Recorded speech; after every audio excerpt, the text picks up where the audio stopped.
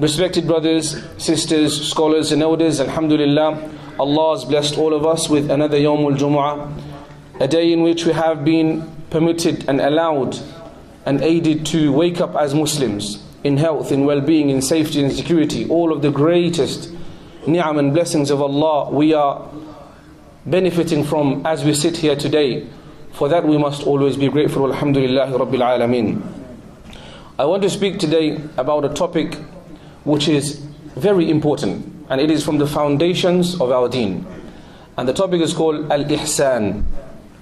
Ihsan. When Sayyidina Jibril alayhi wasalam came to the Prophet Muhammad sallallahu alayhi wasallam in the hadith known as Hadith of Jibril, and he came to teach the Prophet Muhammad sallallahu alayhi wasallam about the foundations and the primary most important things in our deen.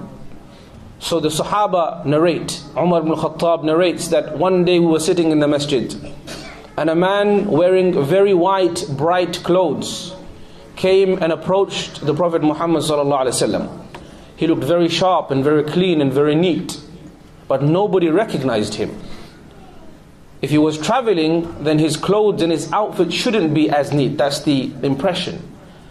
And if it is local, if he is local, then someone would have recognized him. So something amazing was already happening. This man comes to the Prophet Muhammad in the form of a man, but it's actually Sayyidina Jibreel.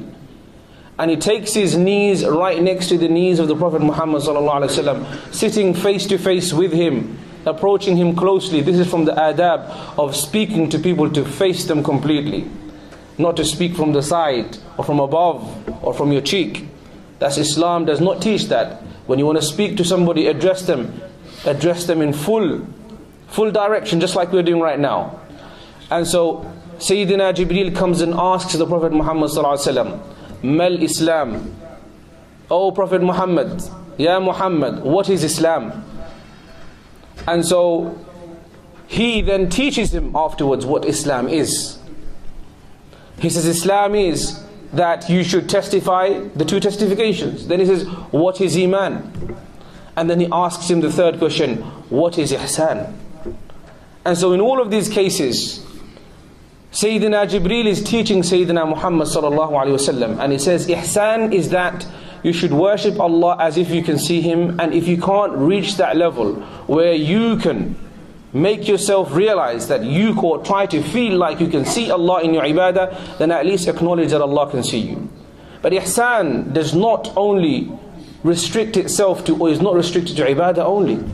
Ihsan is something that goes into every aspect of our life. Ihsan is in your ibadah, yes. Ihsan is also in your action.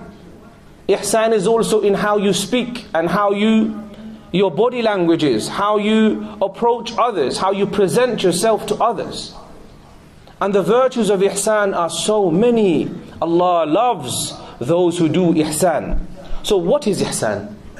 Ihsan is that you try to do a task to the best of your ability. Al itqan. Whenever you do something, whether it's your salah, or your zakat, or your fasting, or your jumu'ah, all of it, you try your best to do it in the best way possible. Whether it be treating somebody else in your character, in your behavior, how you treat your parents, how you treat your children, how you treat your spouse, how you treat your managers, how you treat your employees, how you treat your musallis, how you treat your imam. All of this goes into the chapter of ihsan. It means that you try to do it to the best of your ability. In your actions and in your qawl. Allah says in the Quran, Wallahu yuhibbul muhsinin. Allah loves those who do ihsan.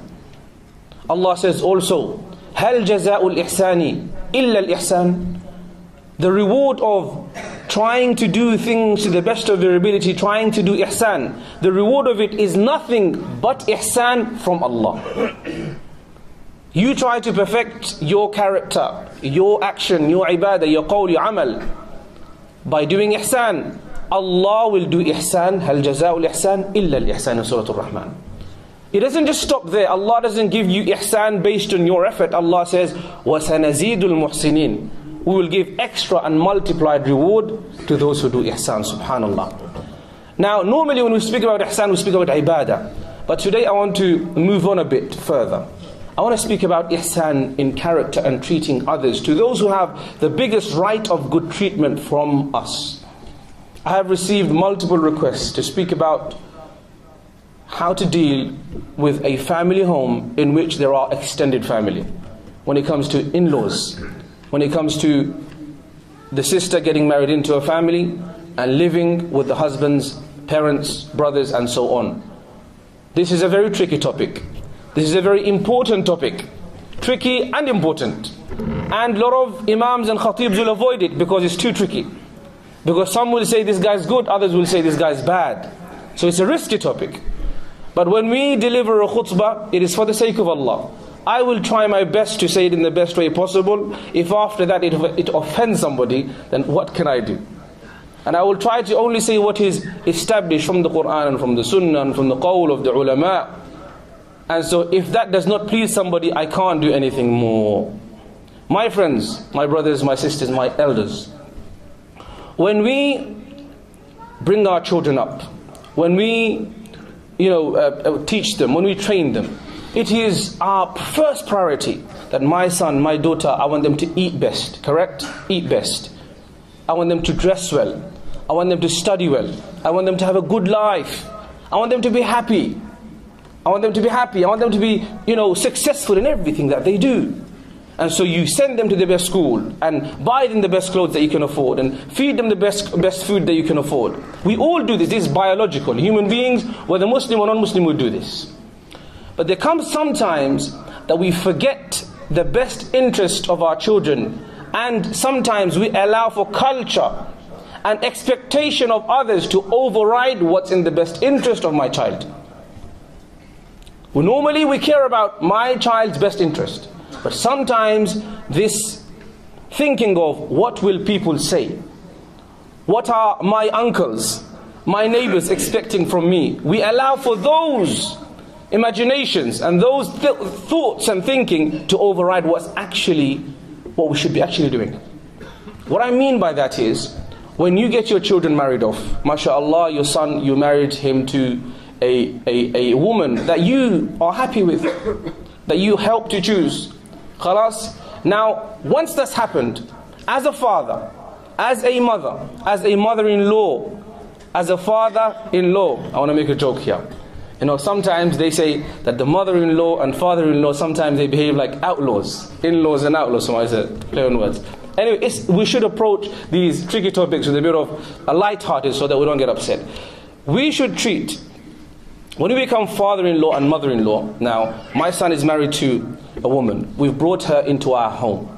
Khalas, this woman now is your daughter. You say in-law, but she is your daughter. It's unfortunate that sometimes we will find homes in which that daughter-in-law is treated like just a maid, just a worker. She has to serve her husband, she has to serve the parents. She has to serve the sisters that are living in the house. And they're fully capable. Okay, for a moment I will say parents, they're unwell, they're old, they should do khidmah. Tamam, I agree with you.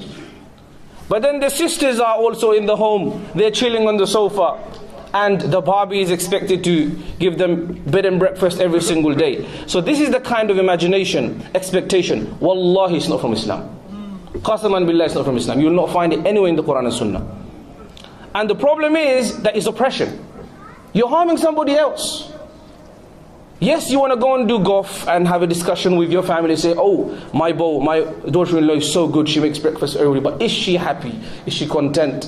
Is she able to? Does she work? Maybe she has other commitments. So many things. My general principle is when you bring someone into the family, you have to really, don't just say it for words. They are truly your daughter, your daughter now a part of your family. Just like you would want for your daughter, you should also expect and want for your daughter in law.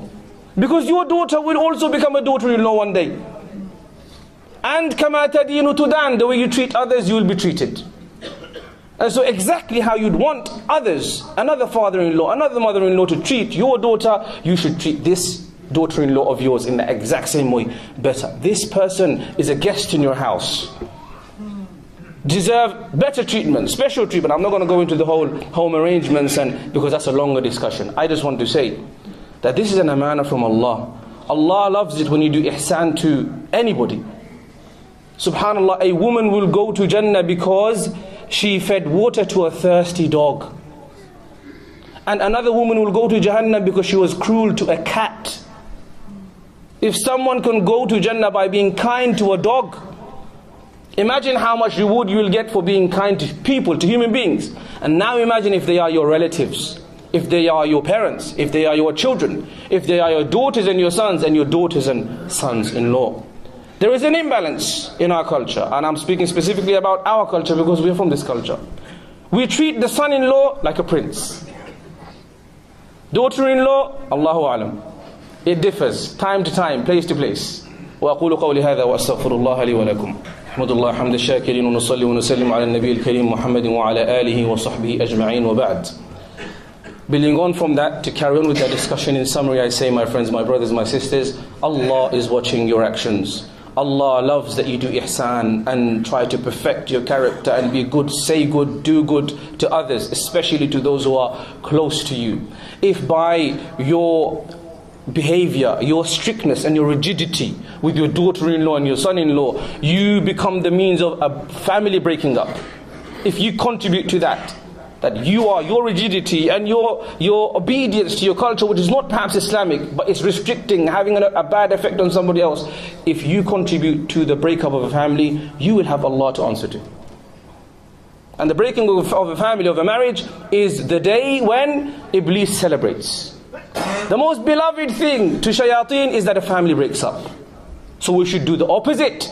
Do everything in our capacity to make their marriage better.